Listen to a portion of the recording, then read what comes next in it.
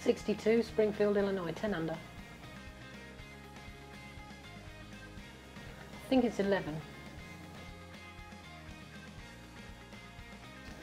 Um, just I have I normally have three tees at the start of the round and try and keep them all week if I can. Uh, Coldplay and Adele. It's hard to split them. Um, I like Jerry Maguire because it's the sporting industry and I just think it's uh, very funny. Uh, my hairbrush. Steven Gerrard, Liverpool and England captain, soccer. Um, it'd have to be Seve.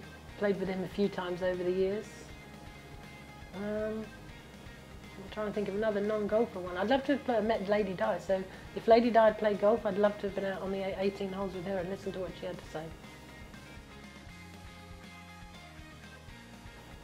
I've got to say, uh, 87 US Open because of everything it meant to my career. I didn't know at the time, but 87 Open. Arnold Palmer, without a doubt, the king.